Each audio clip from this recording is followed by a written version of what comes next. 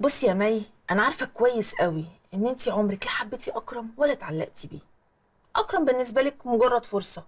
شاب ظريف ولطيف وابن ناس شكله حلو ومن عيلة ومعاه فلوس.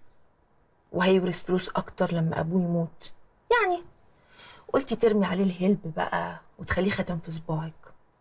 وأنا على فكرة ما عنديش مشكلة خالص انت ما عملتيش حاجة غلط. كل واحد بيدور على مصلحته. وانت من مصلحتك إنك تغسلي تاريخك. وتمسحيه باستيكه وطبعا ما حدش في الدنيا هيعمل لك كده غير واحد ممكن يضحك عليه زي أكرم. ولا إيه؟ طب بقول لك إيه؟ ما تيجي نقطة من الكلام الكتير ونخش في الديل على طول. أنا خلاص فهمت الفولة. عرفت إنك مش هتدي أكرم مليم واحد من الورث بتاعه. برافو عليكي. أنا فعلا مش هدي لأكرم ولا جنيه. عشان كده قلت انت ممكن تطلعي بقرشين قصاد ما تبعدي عنه خالص وتختفي من حياته. فير انف مليون جنيه. 2 مليون وهنزل لك مليون جنيه وهتنزلي اللي في بطنك هو ده اللي عندي. والله بقى محتاجة تفكري في الموضوع. خدي وقتك أنا مش مستعجلة. لا خلاص أنا موافقة. بس بشرط. شرط؟ كمان؟ ماشي. إيه هو؟ شيري ما تعرفش حاجة عن ال deal بتاعنا.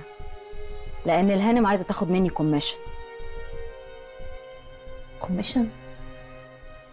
طيب والله لو أثبتتي لي الكلام ده بصوتها وبالدليل أنا هديكي مليون جنيه وفوقيهم ال commission اللي المفروض تديه لشيري okay.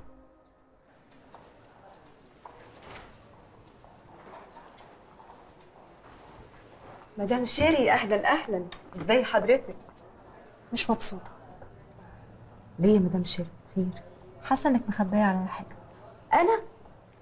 لا طبعا. أنا واخدة بالي من كل حاجة وعيني مفنجلة جدا. وأي حاجة بتحصل أنا على طول ببلغها لحضرتك.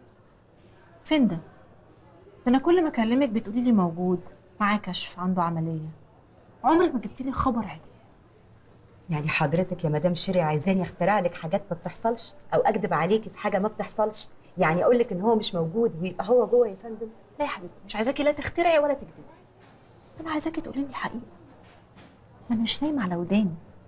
وبعدين يا فاتن لو ما بطلتيش الطريقة اللي انت ماشية بيها دي أنا هخليه يمشيكي ويجيب واحدة تانية على مزاجه. طب ليه يا مدام شيري؟ وأنا كنت عملت إيه يعني؟ لعبتي في عداد عمرك يوم ما فكرتي تكذبي عليا. والله ما العظيم. تحلفيش بس. بتاع الأمن بره بيقول دلوقتي إنه لسه جاي حالا وأنا مكلماكي الصبح وقلت لي إنه معاه كشف. إيه بقى؟ أصدق مين؟ لا يا مدام شيري صدقيني وصدقي بتاع الأمن لأن هو فعلا كان موجود من الصبح لكن خرج علشان يسجل برنامج في التلفزيون ويا دوبك ساعة زمن ولسه راجع. اشترك في الباقات الشهرية والسنوية بإعلانات وبدون إعلانات وما تفوتش عرض رمضان على الاشتراكات السنوية.